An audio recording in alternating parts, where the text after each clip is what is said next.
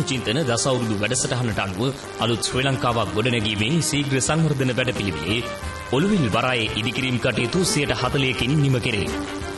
නැගෙනහිර පළාතේ අම්පාර දිස්ත්‍රික්කයේ අලුතින් ඉදිකෙරෙන ඔළුවිල් වරායේ සංවර්ධන කටයුතු ඉතා කඩිනමින් සිදුවන ආකාරය මේ දිනවල දක්නට ඇත.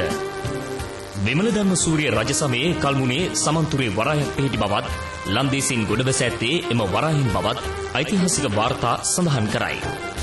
අම්පාර දිස්ත්‍රික්කය නාවික ගමනාන්තයක් බවට පත් කෙරෙන්නේ මෙම ඔළුවිල් වරාය ඉදිකිරීම හරාය. වාණිජ හා දීවර යන දෙයංශයෙන්ම මෙම ඔළුවිල් වරාය වැදගත්. එය අනුව වාණිජ වරාය ඉදිකිරීමේ පළමු පියවර යටතේ ටොන් 5000ක් බැරදි නැවත් නැංගුරම් ලෑමට පහසුකම් සැලසේ. දියකඩනය මීටර 1520කි. වරායට ඈත් ජල ප්‍රදේශය හෙක්ටයාර 10කි.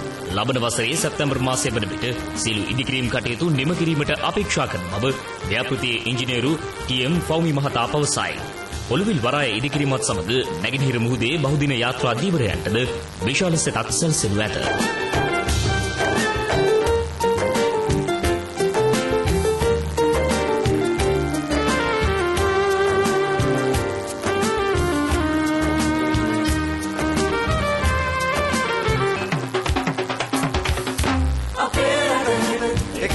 Jesus.